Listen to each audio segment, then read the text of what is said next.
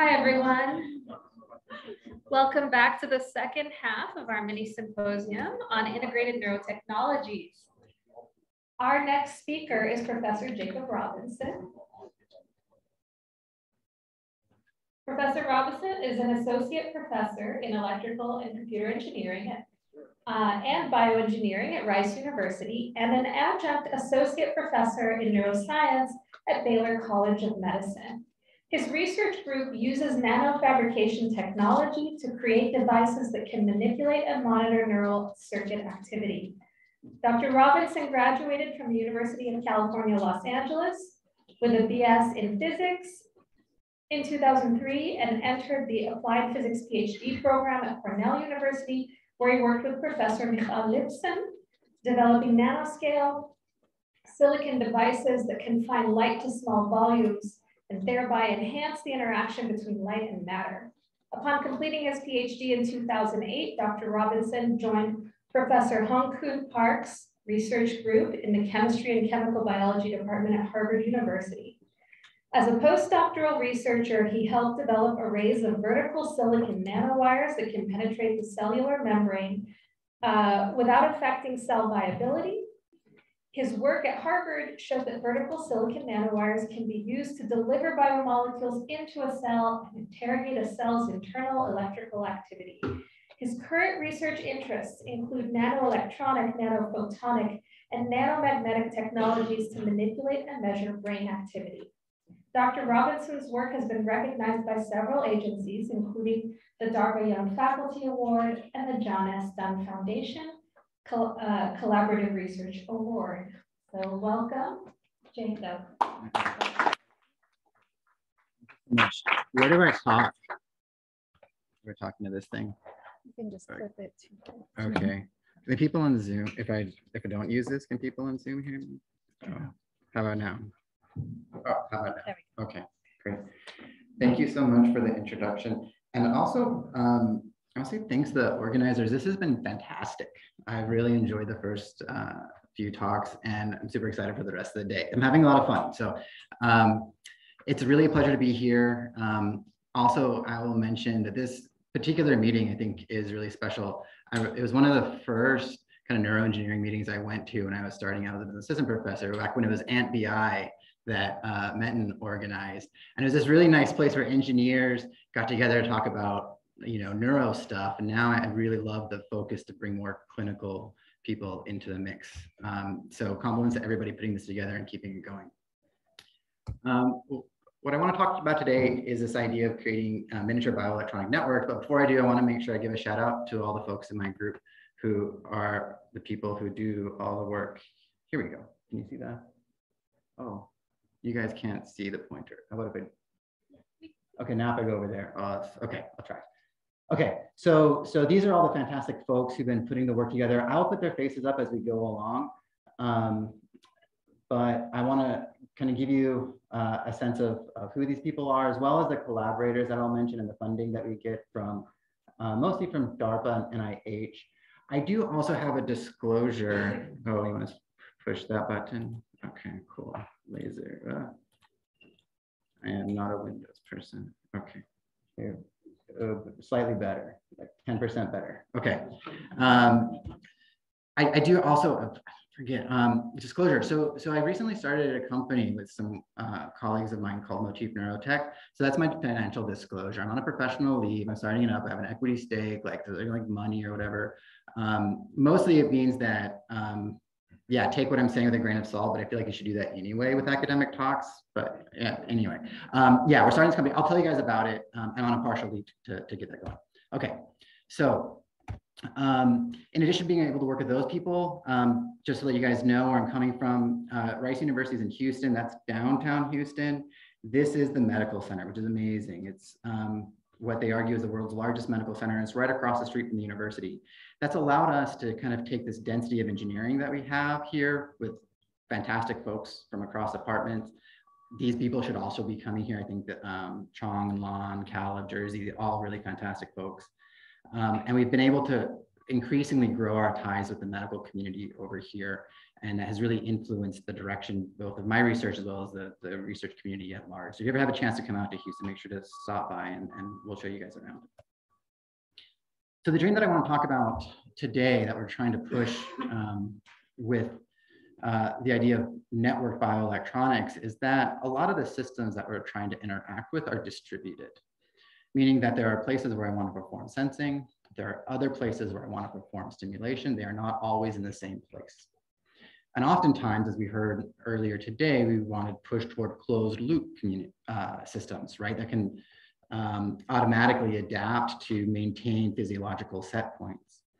And here the example is in the peripheral nervous system, for example, um, for someone with spinal cord injury, if we want to control bladder or bowel, that might uh, be, have to be uh, controlled by, let's say, stretched uh, receptors in the stomach, right? We would want to control that system to measure how full an organ is so that we can control the muscles that would uh, regulate um, either bladder or bowel. It might depend on whether or not you're seated or standing or what your blood pressure is.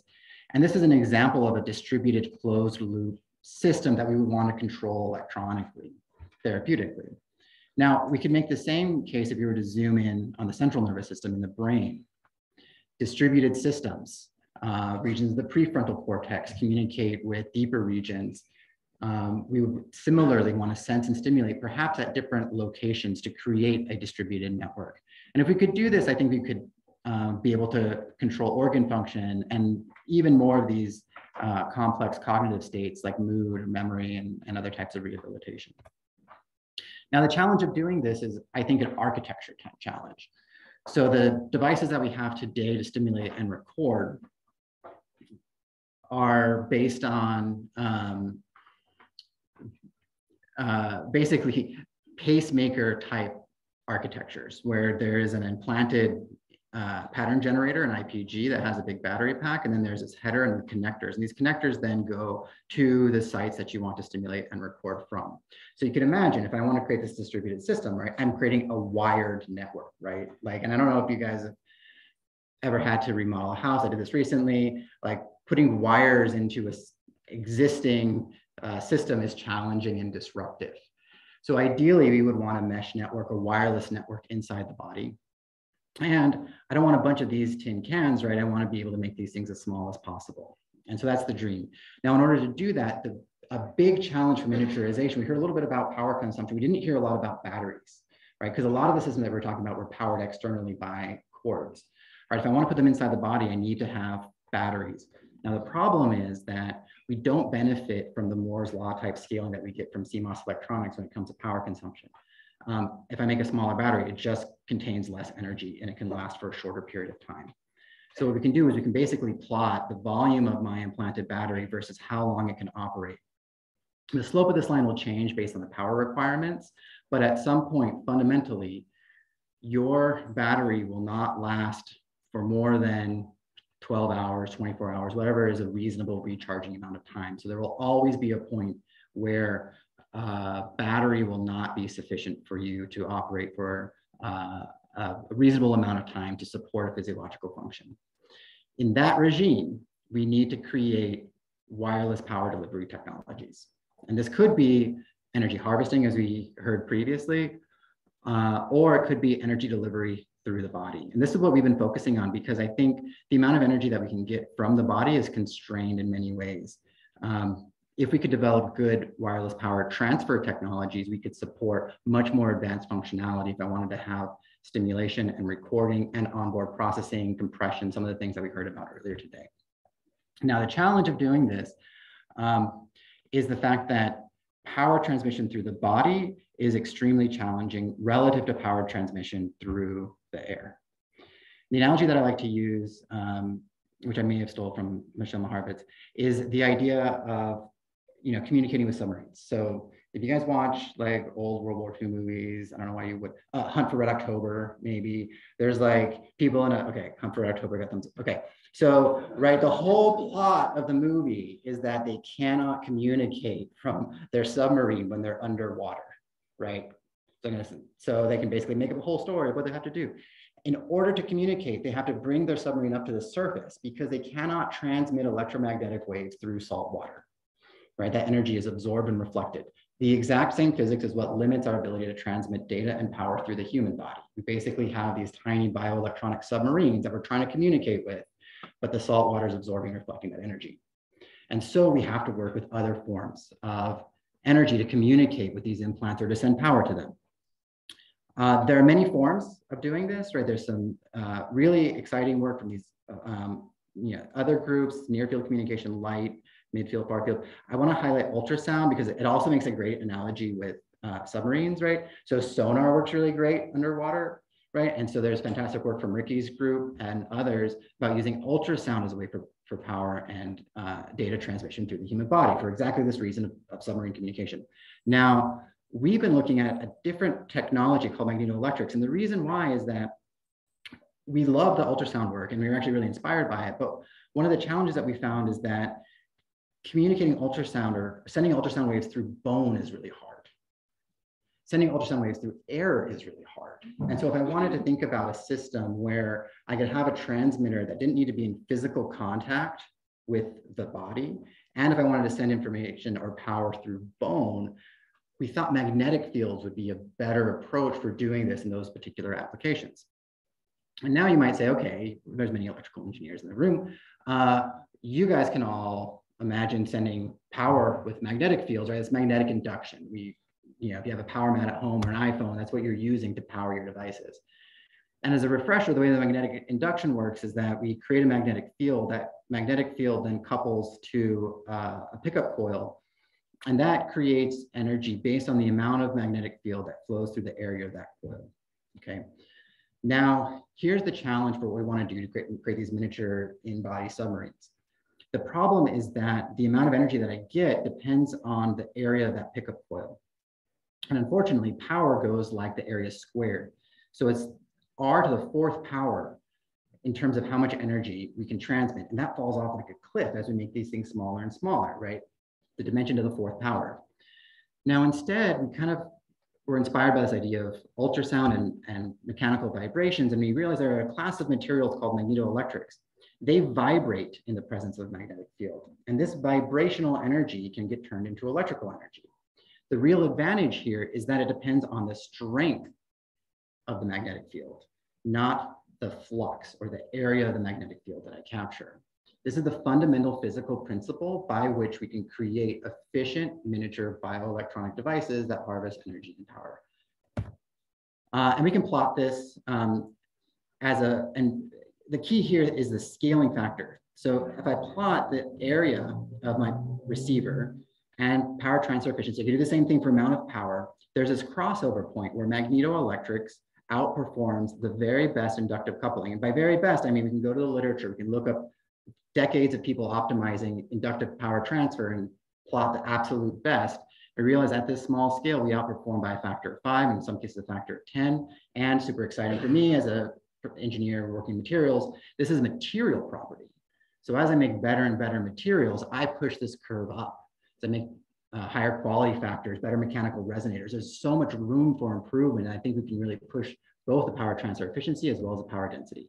Okay, that was a physics lesson for the day. I think we're all done with physics.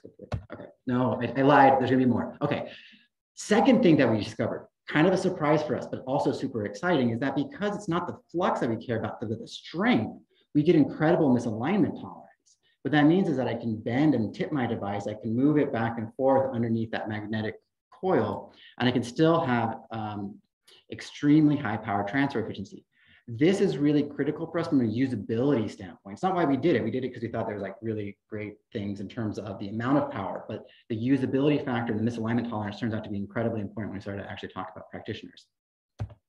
Um, this is just quanti uh, quantitative comparisons, both the angular misalignment tolerance as well as the lateral misalignment tolerance is, is extremely good compared to inductive coupling and ultrasound, in part because ultrasound uses traditionally a focused beam. And so if I'm away from that focused beam, I'm not efficiently coupled. But because we can't focus magnetic fields, it's actually kind of a lemonade out of lemon situation where we get this really robust misalignment tolerance.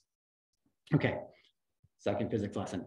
This is a resonant phenomenon. So what that means is that there's a particular frequency at which this power transfer is maximized. We're going to use this later, so I want to bring it up now. But for now, what we can do is we can show little fun tricks where we can power devices um, and we can detune the coil from the these little resonators so that I have a control condition. In this case, what we did is we powered a deep brain stimulator. This deep brain stimulator is battery free. It fits on the tip of my finger. Uh, it's not my finger. I think that's that's um, it's not Cal's finger either. That's Amanda's finger. Um, what it is connected to is basically a biphasic stimulator, and it's you uh, stereotrodes down here, and this goes into the medial forebrain bundle and makes the rat feel happy when it's turned on.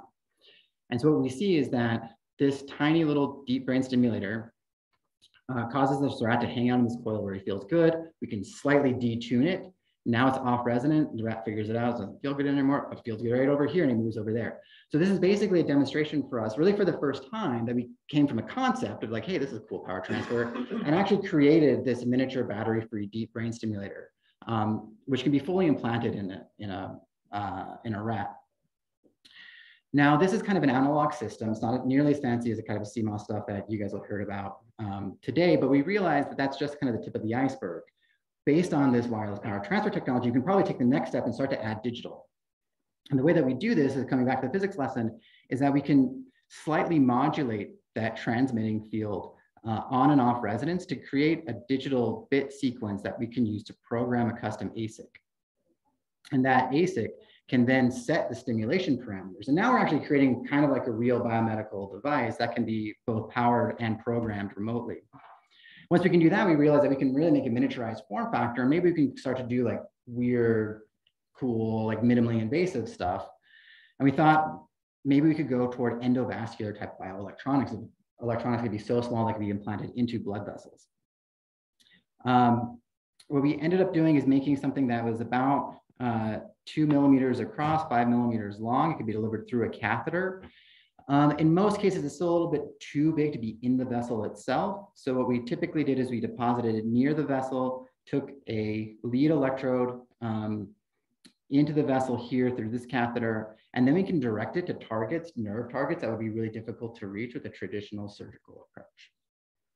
In this case, you can kind of see it deposited here. This is about the size, just for context here. Um, two millimeters is like this. So this is about the size of a grain of rice, the entire device. Um, you can see here's the material for powering and there's uh, the tiny ASIC. This was developed by Kaiyuan Yang, a close collaborator, PI uh, in electrical engineering. And the only other component here is a capacitor that stores the energy. Uh, one of the nice things we're able to do with this is, um, you know, I wanted to basically make devices that could be maybe really used in real life. And so we started working with uh, clinical collaborators, Sunil Sheth, Peter Kan, and eventually Sameer Sheth. Um, and we took this into the OR. This is, this is a pig experiment.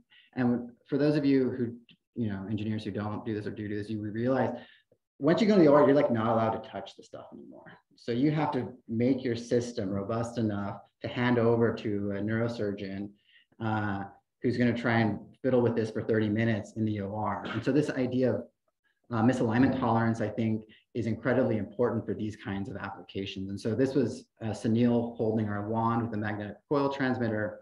We're stimulating the nerve that comes off of the DRG here. This is a potential uh, therapeutic target for chronic pain. And you see that we can stimulate the nerve um, so strongly actually that we can drive chest wall uh, contractions here. You'll see on the EMG, and there was a video that I was showing you earlier.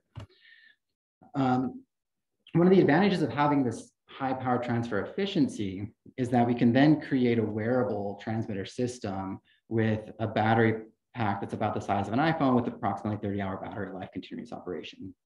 And this thing could all be integrated into a wearable. So we're beginning to think about this hybrid system where, you know, you think back to that original architecture where I told you we had that tin can with leads and batteries that were implanted. And we're thinking, hey, what if we had grain of rice type individual modes that could be distributed and then a wearable system that could be upgraded or recharged or reconfigured uh, without having to change any of the implanted devices.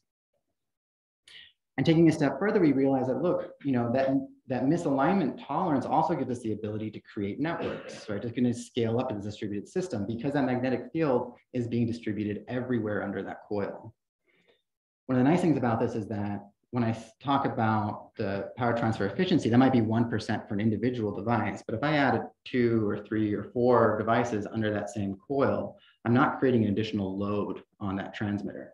So what was a 1% system power transfer efficiency could become a 5 or 10% system power transfer efficiency just by scaling up the number of nodes. So there is actually this really nice scaling that we get. As a proof of principle, um, we took four of these devices, powered them by a single coil, and we put them into um, the rat spinal cord here in Doug Weber's lab at CMU.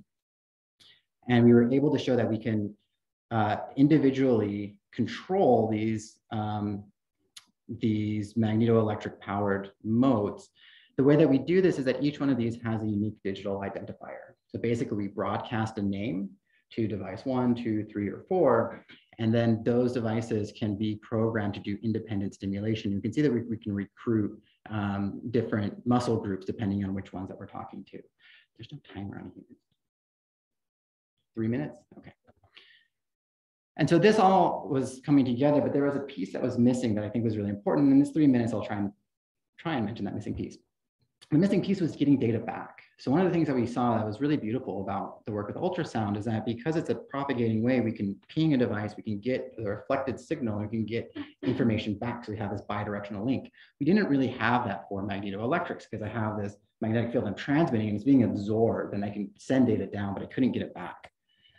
Um, oh, I forgot there's one cool video here. Um, yeah, we, we can also do this on a beating heart. That's kind of gross, but one of the nice things about misalignment tolerance here is that you can see that we're simultaneously powering these, these two implants. We can actually control pacing and kind of a distributed system. So anyway, that was cool. Uh, okay, back to uh, bidirectional communication.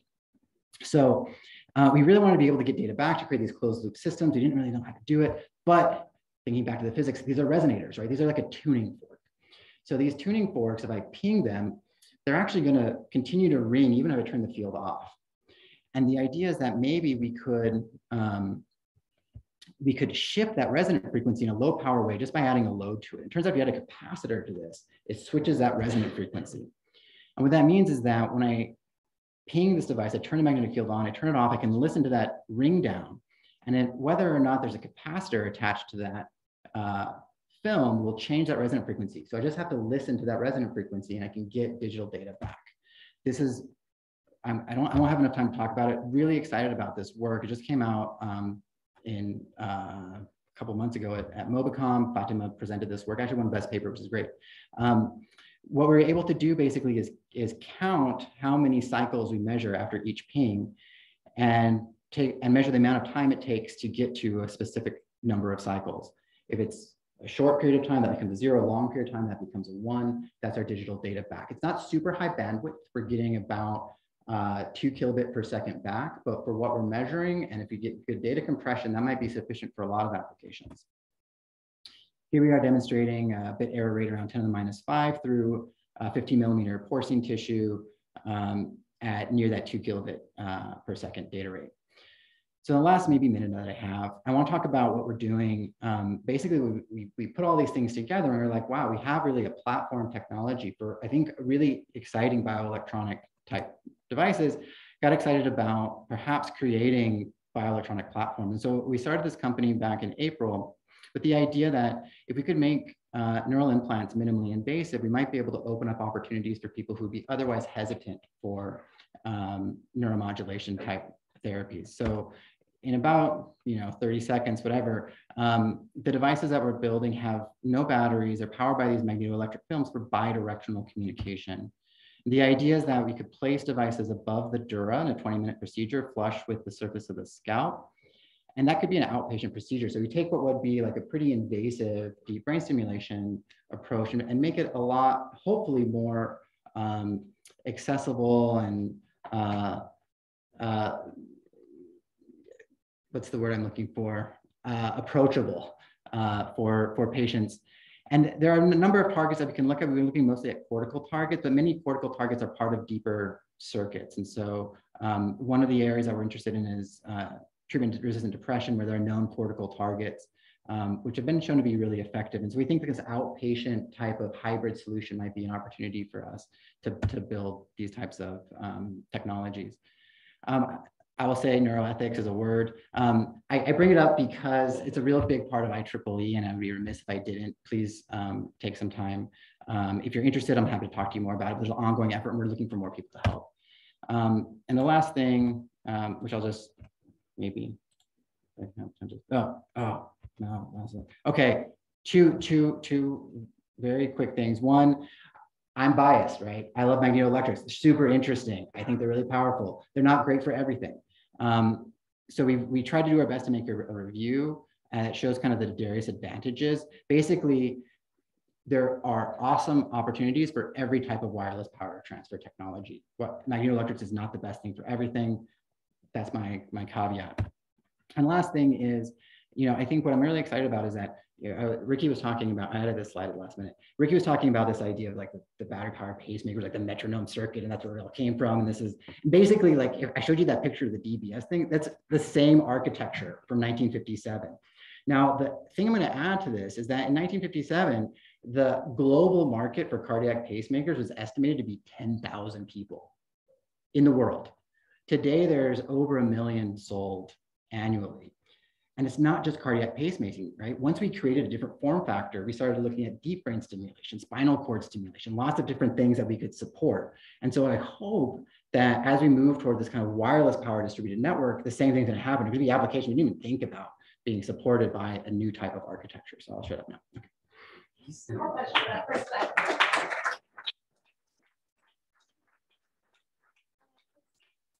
Any question? Okay, question?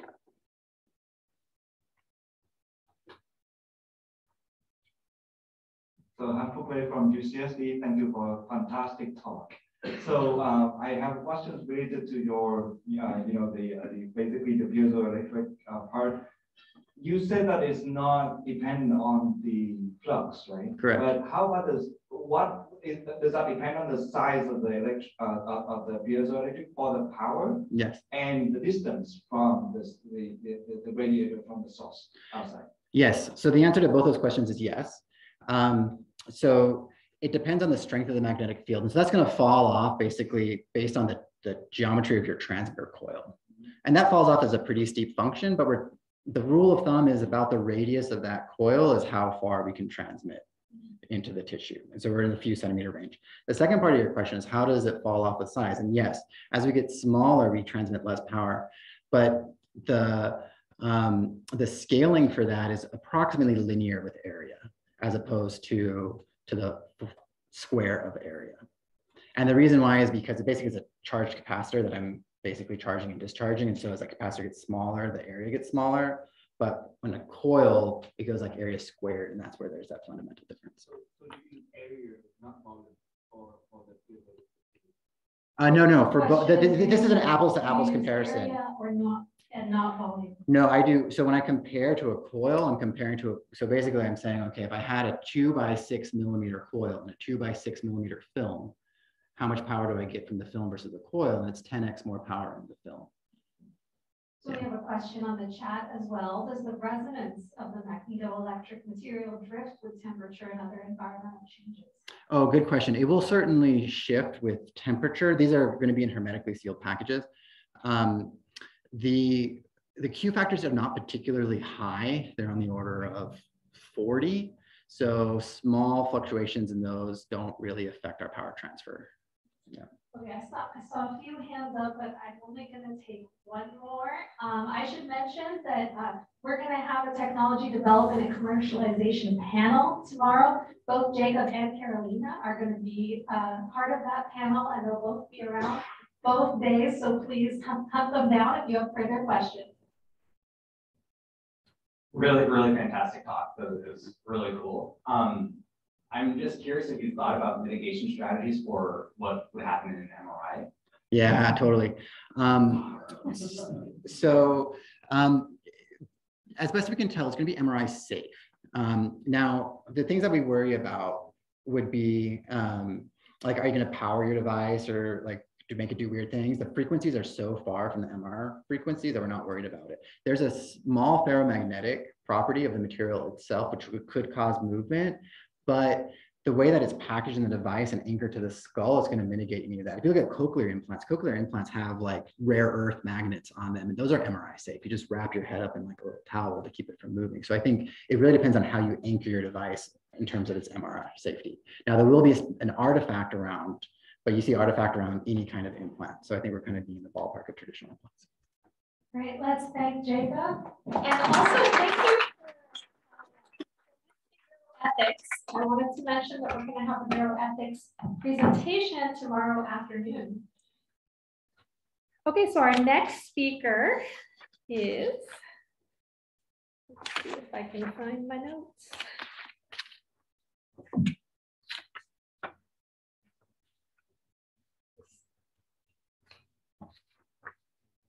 Here we are, Professor Flavia Vitale. Okay, she's an assistant professor of neurology and physical med- medicine and rehabilitation at the University of Pennsylvania. She's also a core faculty member of the Center for Neuroengineering and Therapeutics, Brain Science Translation, Innovation, and Modulation, and of the Translational Center of Excellence for Gene and Molecular Therapy at Penn, and the Center for Neurotrauma, Neurodegeneration, and Restoration at the Philadelphia VA Medical Center. Her research interests focus on flexible bioelectronic materials and devices for high resolution, minimally invasive neural recording and stimulation. A native of Rome, Italy, Dr. Vitale earned her BS and MS in biomedical engineering at the Università Campus Biomedico di Roma in 2008. In 2012, she received her PhD in chemical engineering uh, at the Università di Roma, La Sapienza. Dr. Vitale uh, completed her postdoctoral training at Rice University, where she worked on high performance biomaterials and bioelectronic interfaces based on carbon nanomaterials, followed by a neuroengineering research training in the Penn Center for Neuroengineering and Therapeutics. Wow, thank you so much. Thank you. So thank you, Ricky, for um, the introduction. Congratulations for your perfect, um, spotless Italian pronunciation. um, um, I mean, seriously. And um, yeah, and thank you so much for inviting me to, to speak here um, today. It's a great uh, pleasure um, to share um, our recent work, recent work on multimodal high resolution electronic interfaces um, based on soft nanomaterials and in particular MXenes. Okay, just one second. The computer is stuck. It's um, loading and freezing.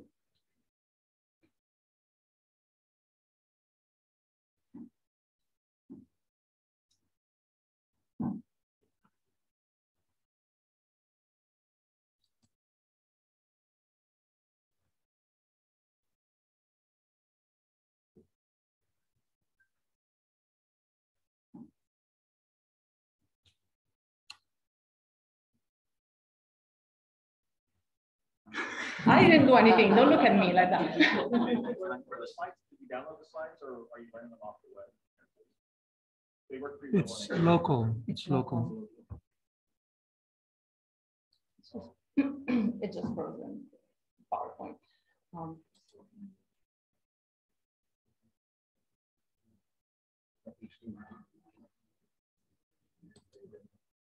I think it might be Zoom, Zoom might have memory leak on Windows. I- Is this the Zoom host? Can we not re- stop and restart? Oh, um, it just Microsoft hang up and it's fine. I guess I need to start again. Oh, it's Win, it's a Windows problem. Windows, yes. Let's try again. Are there like multiple, are there multiple PowerPoints open that are? No, I have my computer if I need it. Recovery, that's okay, I guess, right? This is fine. You can use this one. There may be a lot of PowerPoints um, open. Is it,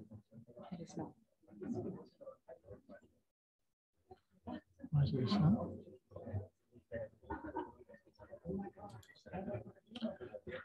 Second, why is it doing this?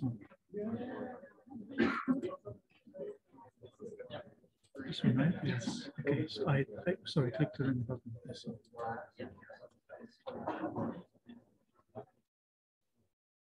Okay, I'm not gonna touch anything, just advance, okay? Sorry for the um, technical um, difficulties. Okay, so um, bioelectronic interfaces um, for neuromodulation as well as BCI are um, widely spread um, adopt uh, wide, widely spread tools for restoring, replacing, and treating neurological and neuromuscular disorders. Now, Jeff has done like a great work uh, introducing neuromodulation and BCIs, uh, BCI interfaces, and also describing the differences and commonalities between the two type of technologies. So I will not go further into that, but thank you, Jeff, for making my job easier. Um, but what I want to say is that despite, um, regardless of the specific application, the both neuromodulation and uh, BCI devices uh, share a common uh, uh, system, a common tool the, that sits right at the interface with electrically active circuits to restore, control, um, replace or modulate their function. And the system is the um, electrode. And yeah, despite decades of research and, you know, still like uh, significant efforts from also many of you um, here, there is still a fundamental mismatch between the electrochemical, mechanical, uh, chemical properties of the man-made electronics and biological uh, uh, systems.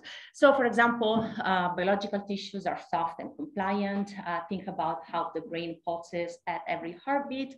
Um, they, um, in this, uh, in the biological tissue signals are conducted by flow of ions um, in an electrolytic medium, um, whereas traditional um, elect electronic components, on the other hand, are rigid and static. The signals in uh, um, traditional uh, conductors are conducted by flow of electrons of ions, and all the materials are inorganic, typically are silicon and metals. And in addition, uh, manufacturing these uh, devices rely on expensive and time-consuming processes that are typically borrowed directly um, uh, from the semiconductor industry, but that doesn't that do not um, translate very easily if we start like thinking about adopting new materials. And so from, you know, as a chemical engineer, for me, this is a materials problem that maybe can be addressed by looking into other materials and expanding the library of materials for bioelectronics. So in the last few years in my lab, in this quest of, you know, finding new uh, bioelectronic materials that could address the mismatch between biology and electronics, we started to um, work and explore the potentials of MXene. So the, ter the term MXene refers to um, actually a family of um, two-dimensional nanomaterials consisting in transi layer transition metals and um, carbon or uh, nitrogen cores and with a surface decorated by oxygen, hydroxyl or fluorine groups depending on the synthesis process. Now, of the more of the 40 forms of MXene um, synthesized thus far, we have been primar uh, primarily investigating titanium carbide MXene because it was the first to be synthesized and the most conductive and most capacitive so far. Now, what makes um, MXene unique among other nanomaterials like carbon nanotubes and graphene that have been extensively investigated for bioelectronics is that they are stable in aqueous dispersions. This means I can take a MXene powder, mix it with water, and then I have a conductive ink that I can use to then print on any substrate without the need of um, harsh chemical and thermal conditions that is that these other uh, nanomaterials typically require. And this opens the uh, um, uh, wide range of opportunities for safe, high throughput, and scalable processing of these materials into um, um, multi-scale devices. So when we started to work with um, titanium carbide MXene, really there was no precedent of use these materials in any type of uh, uh, biomedical devices. So we had to come up with a process to uh, make, um, we started with neural microelectrode arrays. And the process really consists in conventional photolithography, lift-off steps to, and um, spin casting of MXene films to form microelectrode contacts onto a flexible parylene substrate. And using this process, we came up with different um, device geometries um, from micro ECOG arrays to um, laminar arrays.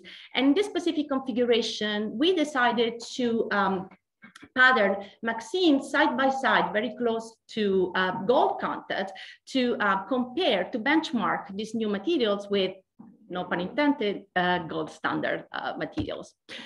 In vitro, in saline, we measured consistently a four, time lower four times lower impedance on MXene contacts than on uh, gold. And in vivo, uh, this reduced impedance resulted in a higher sensitivity for detecting um, extracellular spiking activity. Basically, we could record more spikes in vivo than on adjacent gold contact. And with uh, also additional characterization and modeling, we um, attribute, we can attribute now this enhanced sensitivity to the higher capacitance of MXene compared to gold, but also to this like rough uh, nano microstructure uh, surface topology that is formed by overlapping MXene flakes. We also demonstrated this, this material is safe to neurons. Neurons can grow in contact with MXene and can also form functionally um, connected networks.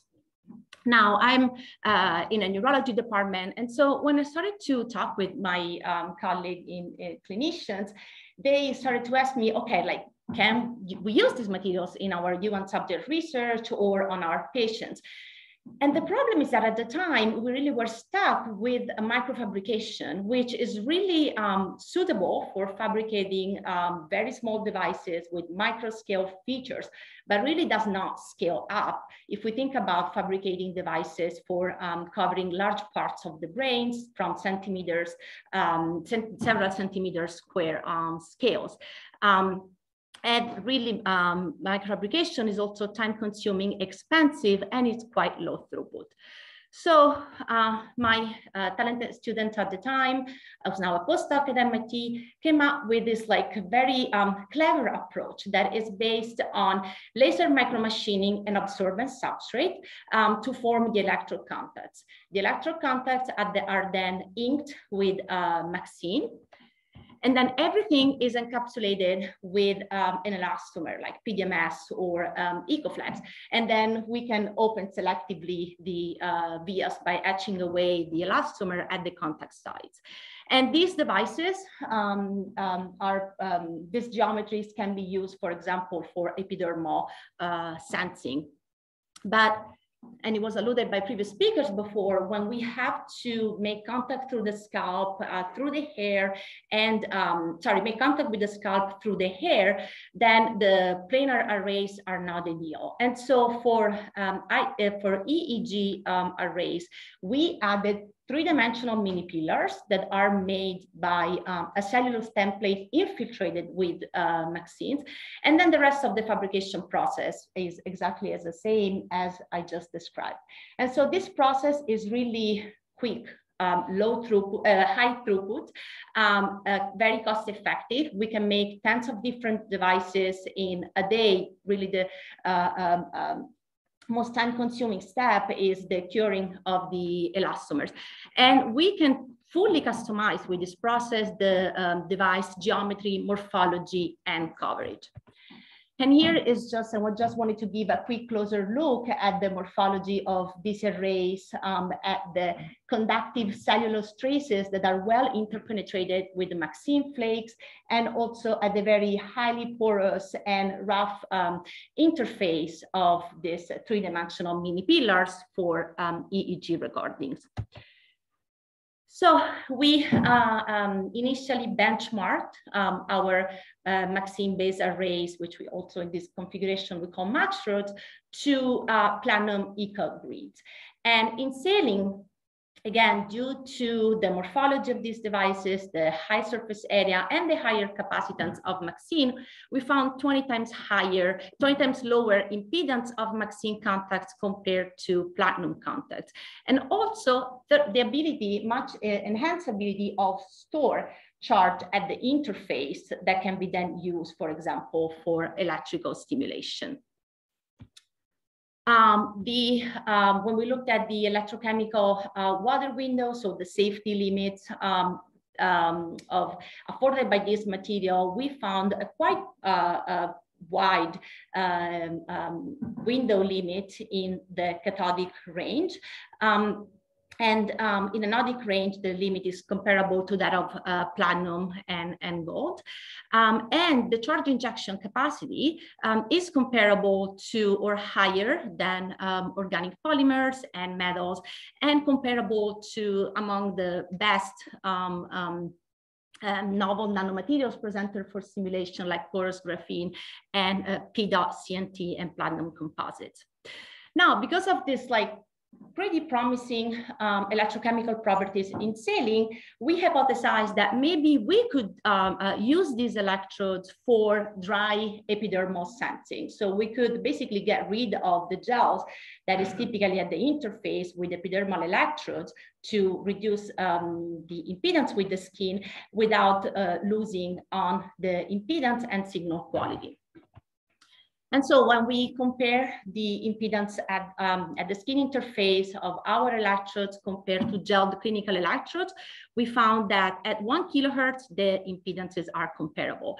But in the one to 100 um, kilohertz range, hertz, one to 100 hertz range, where the um, majority of the um, uh, of where the uh, majority of the, the power of the signals that emerge on the skin can be detected. Actually, in this uh, frequency range, the impedance of our electrodes was about 10 times lower than that of um, gelled Natus electrodes.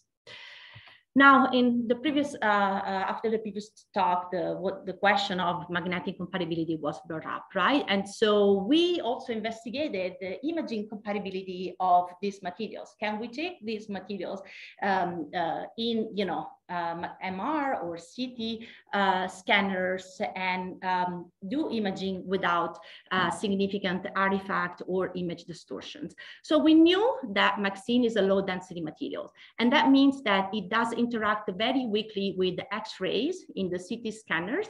And that means that it does not give rise to that scattering artifact that is very evident around high density materials like platinum. What we didn't know, and we uh, uh, investigated in this work is that MXene is a weakly paramagnetic material with a magnetic susceptibility that we measure is much closer to that of human tissue than uh, metals. And that means that even in high field MRI, that, uh, there is almost no artifact around the MXene electrodes, whereas platinum can induce very severe artifact.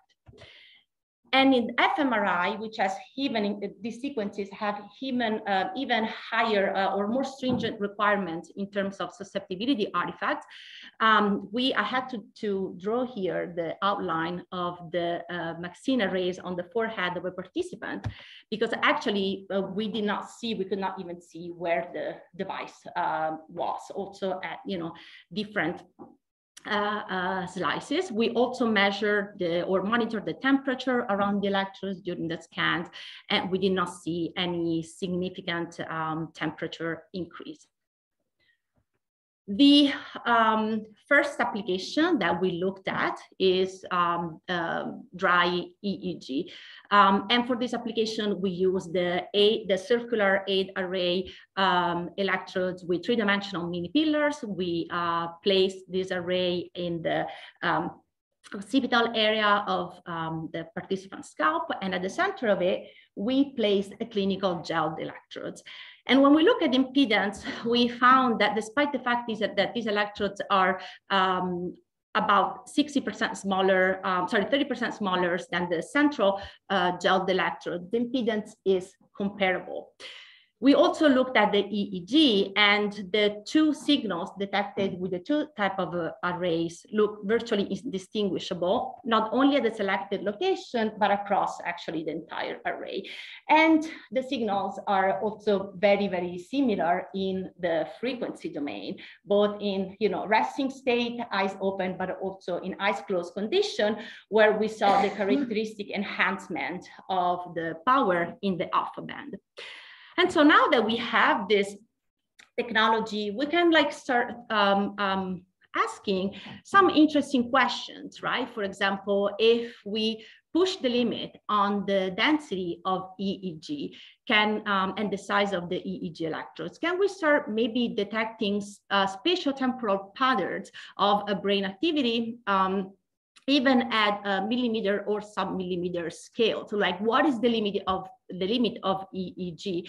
Um, uh, from um, in high density configuration. So we just started to look into this, but this video that I'm showing, for example, um, is uh, on the top has the just the EEG trace from the electrode outline in yellow. But you can see here, and this is uh, the power on each electrode in the alpha band during this time frame of the video, that there is a clear spatial temporal organization of alpha activity.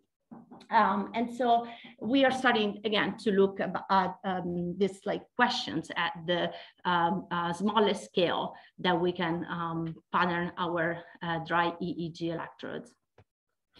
We also demonstrated the applicability of MXtrodes to intracortical recording and stimulation, uh, which is routinely conducted in, during neurosurgical procedures. Um, for cortical recordings, we map the spontaneous activity in a pig model, in this case of a traumatic brain injury, with a six channel micro ECOG array. Each channel is about 500 micron in diameter. Um, also in this case, we even in this like very small uh, cortical area, we found found stereotypical activation patterns where we mapped the um, amplitude on each uh, of the signals on each electrode. And these activation patterns were uh, pretty much phase locked to the um, um, high and low states of the um, micro ECOG signals. And uh, in terms of cortical simulation, this is just like very preliminary data that demonstrate the feasibility of cortical microstimulation with MXene microelectrode arrays. So in this paradigm, we had the electrodes placed in the motor cortex um, of a rat in the area that controls whisker movement. And then we track the uh, uh, whisker uh, movement with an optical micrometer. We deliver stimulation pulses at uh, different intensities. And um, luckily we found, uh, we, were, we, we elicited um, the whisker movement and as expected, the um, intensity of the whisker deflection is modulated, is controlled by the intensity of the um, uh, stimulation. Now, um, I, this the last few minutes of my talk, I want to um, shift the gears a little bit and present um, a different application of this technology in um, high density surface EMG.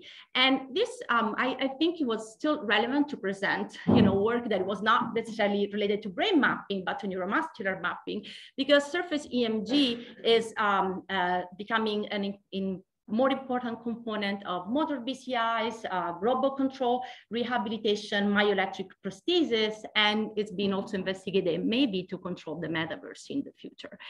So um, leveraging the scalability um, and the versatility of our um, fabrication process, we designed devices that could array. So this is a 78 channel array that covers completely the, the muscles in the calf.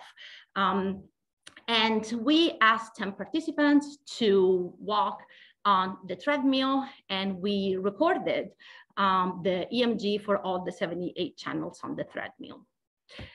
Now, of course, we to validate and also benchmark the quality of our recordings with this um, high density surface EMG, again, in dry configuration, we um, um, acquire the EMG also with a commercial wireless system. So the DelSys that consists in those like black pods, each of those pods has two sets of bipolar channels placed, and we looked at the signal in uh, corresponding uh, locations. And so what we found is that the signal to noise ratio is comparable with between the DelSys, which is also wireless. And at the time our system was wired. Um, and the MXtrodes. Um, we also, the, the traces, the um, um, root mean square of the signals are highly correlated throughout the entire phase of the gait and that we also find a much um, higher spatial resolution. So in our recordings, we could see um, uh, changes in muscle activation of about 40% throughout the muscle surface that could not be detected by um, a much larger um, EMG array. And so just to, to conclude um, this, this uh, presentation, we also used our EMG in conjunction with the simple support vector machine algorithm to predict the phase of the gait cycles, wing versus stance in you know, five participants. And we were able to predict with um, the, the phase of the gait with very high accuracy, more than 90% in all of our participants. And this is, you know, opens up the applications of this technology in uh, myoelectric control prosthesis, for example, but also BCIs. Okay, I just want to conclude. I'm not going to take uh, more of your time, but I hope I convinced you in these 20 minutes or so that maybe expanding the library of materials and then de developing novel fabrication processes, we can really um, uh, propose novel bioelectronic technologies that could allow us to study neurological and neuromuscular disorders, but ultimately also improve patient uh, outcomes. With that, I thank you all for your attention. I acknowledge my talented students, my funding sources, and happy to take any questions. So thank you so much.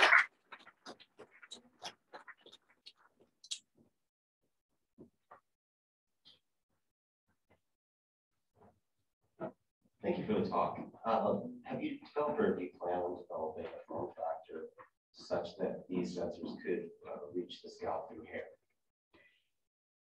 Yes, so in our preliminary studies, we did record from people with hair, um, although, you know, very uh, sparse. Um, and now, actually, my student Neha Shankar is in, in the audience and she can talk more about all the work that she's doing in this field. She's um, expanded and improved the fabrication approach to uh, make mini pillars that can very easily um, uh, make contact with scalp, with a scalp through hair like mine um, and achieve a very low impedance, like 10 kilo ohms or so. So we're absolutely working on that aspect because it's one of the most challenging, you know, problems that we need to address.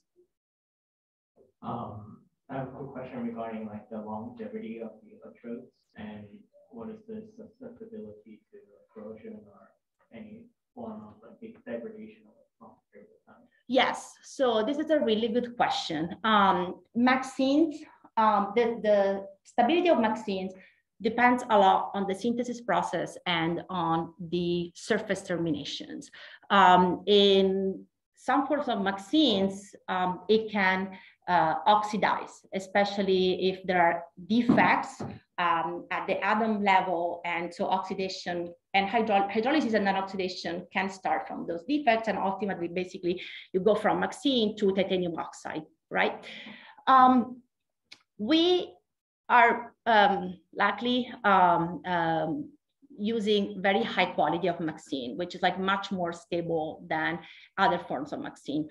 How, and in addition to that, these uh, devices are like composites, right? You have MXene infiltrated within an absorbent substrate, and then everything is encapsulated with, the, with elastomer. And so in we are testing the durability of our devices right now, but we found that shelf life um, we have not seen any significant change in impedance for over 20 weeks, leaving these devices in air. And in um, aqueous conditions, actually, we just started this experiment. So we are now 120 weeks, and we're not seeing 100, sorry, 120 hours, and we're not seeing any change in the uh, materials properties. And so these are pretty good signs that, at least in the time scales that are relevant for epidermal uh, sensing and shelf life of devices for epidermal sensing, but also for intraoperative recording and stimulation, which occurs acutely, these devices are, are you know, their, their durability and stability is actually adequate to meet those requirements in these applications. We have, we have more questions. I think we're gonna we're gonna cut it off I'm happy. in the interest of time. Flavia will be around. Please, please be sure to ask her questions during the lunch. Thank you so much, Flavia. Thank you. Our next speaker is Professor Canan Dagdeviren, who will be giving her talk remotely.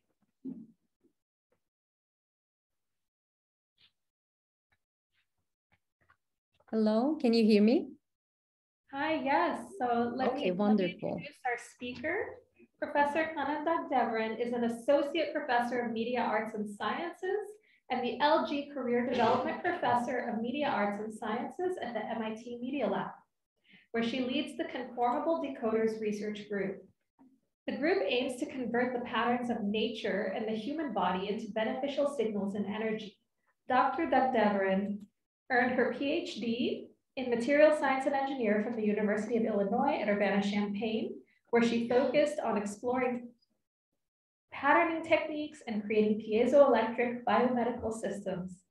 Her collaborative, or her, I'm sorry, her collective PhD research involved flexible mechanical energy harvesters, multifunctional cardiac vessel stents, wearable blood pressure sensors, and stretchable skin modular sensing biopatches.